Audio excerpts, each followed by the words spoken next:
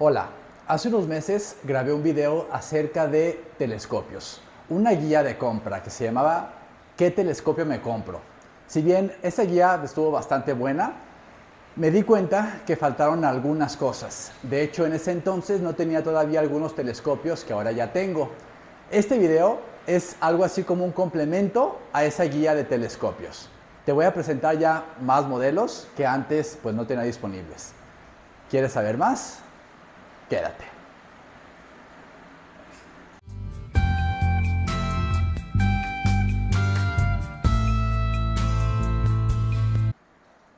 Bien, vamos a empezar. Hay dos conceptos clave para elegir un telescopio. El primero es la apertura, el diámetro por donde va a entrar la luz, ¿sí? que es el diámetro del lente o de la apertura frontal por donde entra la luz, de acuerdo al tipo de telescopio. Entre más grande sea ese diámetro, entre más grande la apertura, es mejor. Eso quiere decir que va a entrar más luz y podrás ver objetos más tenues en el espacio. El segundo factor importante es la longitud focal. Eso quiere decir cuál es el, el largo del recorrido que tiene que recorrer la luz cuando entra al telescopio y sale por el ocular. Entre más grande sea la longitud focal, y una manera para ver eso es eh, la longitud del telescopio. Entre más largo sea el telescopio, tienes más capacidad de zoom, de magnificación. Los telescopios para ver planetas tienen longitud focal muy grande. Los telescopios para ver objetos de espacio profundo tienen un diámetro, una apertura muy grande. Y vamos a empezar. Este que vemos aquí, hay tres diferentes tipos de telescopios. Y los más comunes, el más común es este, que se llama telescopio refractor. Este es como el que usaban los piratas. Este modelo en particular es un Skywatcher 102 AZ3.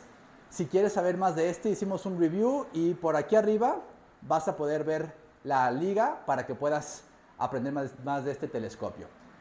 Cosas interesantes. Este tipo de telescopio, bueno, usa lentes. Tenemos aquí un lente, en este caso es de 4 pulgadas, y tenemos el ocular acá atrás. Entonces, hay varios lentes aquí adentro, entra la luz por aquí, apertura de 4 pulgadas, sale hasta acá.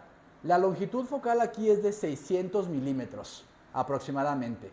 No es particularmente largo, es un telescopio, inicialmente era de viaje, por eso me lo compré, pero si se fijan, la base está bastante grande.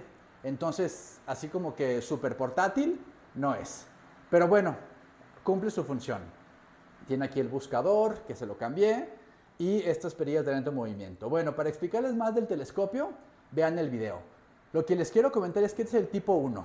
Estos telescopios tienen la ventaja de que pues, usan lentes, es el diseño clásico y suelen usarse para ver planetas. Ahora, pros, cosas a favor. Este diseño es un diseño ya súper probado. Es el mismo que usaban los piratas desde hace mucho tiempo. Son robustos, son resistentes, no se desalinean.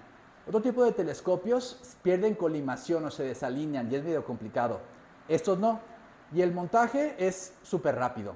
En este caso además ayuda la montura, que solamente se mueve de un lado hacia otro, de un lado hacia otro y de arriba hacia abajo.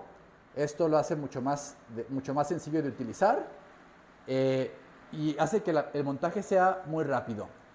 Aspectos en contra, como tienen varios lentes y son de vidrio, los hacen muy pesados.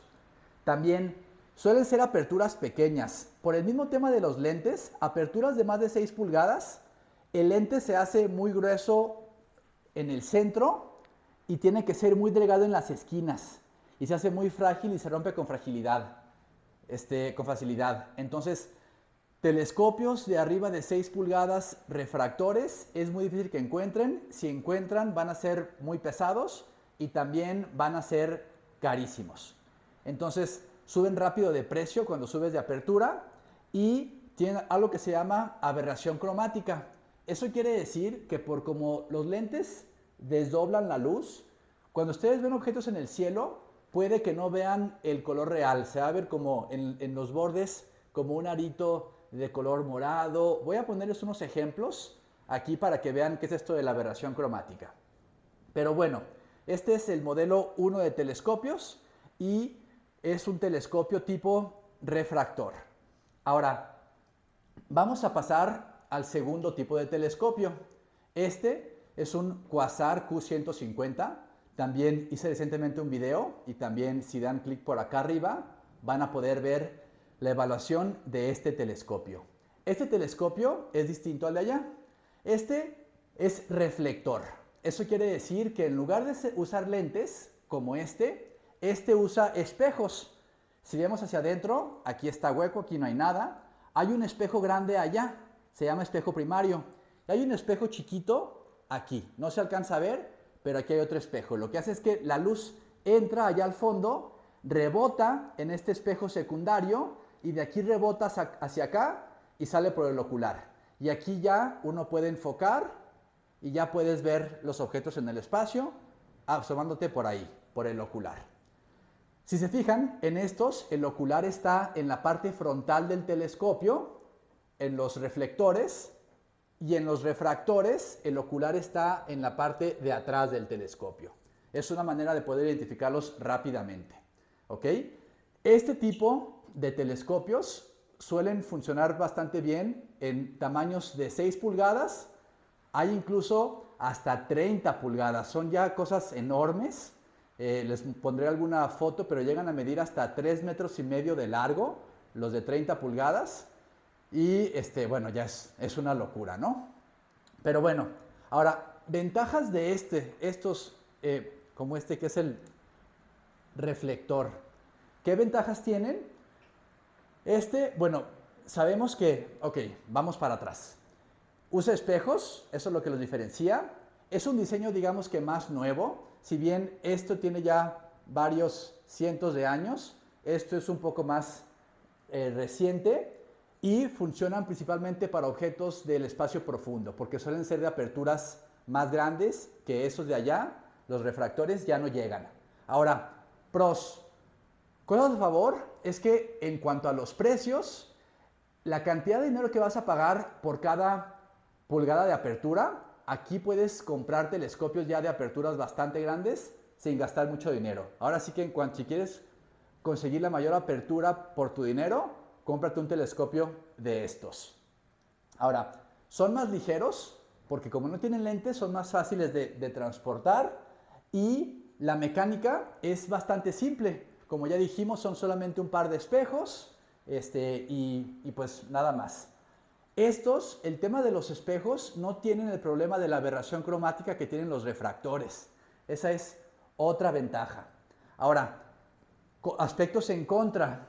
Aspectos en contra tenemos que estos requieren colimación.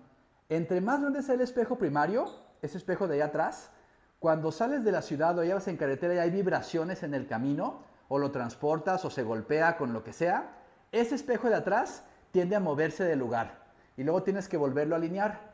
Eso se llama colimación y es medio tedioso, es un poquito, pues sí, complicado. Hay maneras de hacerlo sencillo con colimadores, pero bueno, es una complicación extra.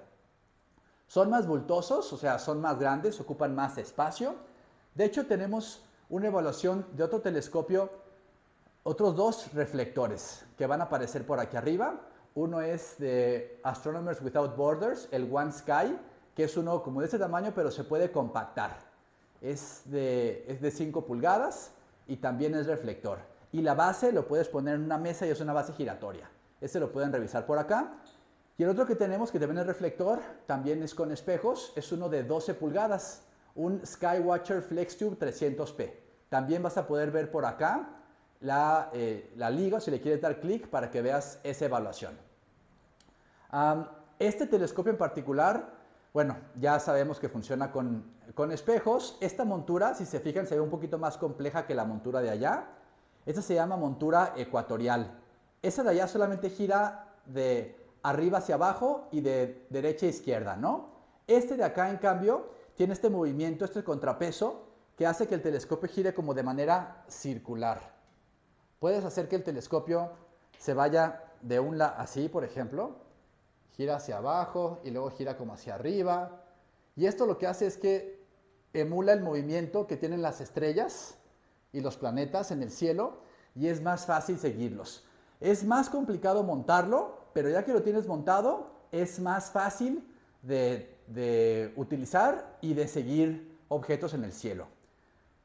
Este es el telescopio eh, número 2. Ah, otro aspecto como en contra de esto es, si se fijan, la luz se obstruye un poquito por este espejo secundario, ¿no?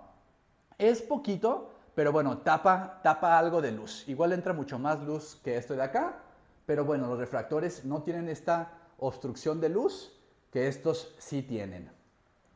Y el tercer modelo, el tercer tipo de telescopios, son, es esto de acá. Este se llama telescopio compuesto. ¿Por qué compuesto? Porque es una combinación de los dos anteriores. Este telescopio, bueno, este es el Celestron SE8, el Celestron 8SE, y este también tengo yo un video, pueden hacer clic por aquí arriba para que vean cómo funciona. Este está muy padre porque tiene un aspecto aquí ya eh, robótico, tú pones qué quieres buscar y solito gira, lo encuentra y lo alinea, está interesante, pero bueno, eso es un tema ya de, de la montura electrónica. Vamos a hablar del tubo óptico o del telescopio como tal. Este, si vemos hacia adentro, tiene también espejos, pero es una combinación porque también tiene lente aquí, también tiene un lente. Entonces, lo que hace es que la luz entra, pega en el espejo eh, primario allá, rebota otra vez, pega en este espejo secundario, rebota otra vez, pega en otro espejo, rebota otra vez y ya por fin sale, sale por allá atrás. La luz entra y rebota como cuatro o cinco veces. Es una locura. De hecho, interesante porque este telescopio tiene de, longitud como, como 43 centímetros, pero la longitud focal, o sea, la distancia que recorre la luz, son como 2 metros. Es como si tuvieras este telescopio que midiera 2 metros de largo. Entonces, este tipo de telescopios se llaman compuestos y el nombre técnico es Schmidt-Cassegrain porque es el astrónomo que los inventó, el físico que los inventó. Los puedes encontrar como telescopios SCT. SCT, SCT Telescopes. Y bueno, estos también tienen aquí un poquito de, obstrucción. Estos telescopios son los más nuevos. Ahora, aspectos a favor es que estos son buenos para todo porque tienen una apertura considerable. Estos los encuentras típicamente desde como hay desde 4 pulgadas como hasta 12 pulgadas, 14 en algunos casos. estos, digamos que doblan la luz y como dijimos, tienes como 2 metros de longitud focal y eso hace que tengas muchísimo zoom y sean muy buenos para ver, para ver planetas. Telescopio planetario, este es pues de lo, de lo mejor que hay sufren un poquito, como son una combinación de los dos de allá, sufren solamente un poquito de esta aberración cromática, de estos cambios de colores eh, involuntarios, ¿no? Ahora, como contras, estos también llegan a veces a descolimarse, no tanto como los reflectores, pero pues también hay que estar al pendiente de eso. En cuanto a la obstrucción de luz, pues aquí hay un poco más de obstrucción de luz porque es más grande. Obviamente, entre más grande sea el diámetro, esta parte se queda igual y representa un porcentaje más chiquito de la, de la obstrucción total. Y el último aspecto en contra es que estos son los más caros de todos. Por ejemplo, este ahorita, precio de lista, está como 1.600 dólares en Estados Unidos. Aquí en México yo he visto que lo ofrecen como en 54 mil pesos mexicanos, bastante más del doble, casi el triple. Bueno, sí, casi el triple. Eh, estos de acá, por temas económicos, los telescopios reflectores son los que yo más les recomiendo. Estos refractores, particularmente a mí no me gustan mucho, se me hace que ya están como pues muy pasados de moda y hay tecnología que te cuesta menos dinero y que puedes ver cosas mejores. Pero bueno, si tienen uno, igual tiene mucho valor sentimental y también se pueden ver cosas. Simplemente Personalmente estos me gustan más. El valor como costo-beneficio aquí es el más alto. Y si quieren en lugar de comprarse dos telescopios, comprarse solamente uno, pues igual y este, este también está, está ahí para que, eh, para que lo adquieran, ¿no? Bien, eh, básicamente eso es todo. Quería darles una visión como completa de los diferentes tipos de telescopios y bueno, creo que se cumplió el objetivo. Bueno, pues gracias. Me ayudarías mucho si te gustan estos videos que me des un like y te suscribas al canal. Así me ayudas a seguir creciendo y poder generar más videos. También me gustaría que me dijeras de los telescopios, ¿qué tipo es tu favorito? ¿Cuál te llama más la atención? Por favor, coméntalo y lo platicamos. Eso será todo. Mi nombre es Pablo. Esto es Astronómica TV. Y recuerda, en astronomía, como en lo demás, de más allá.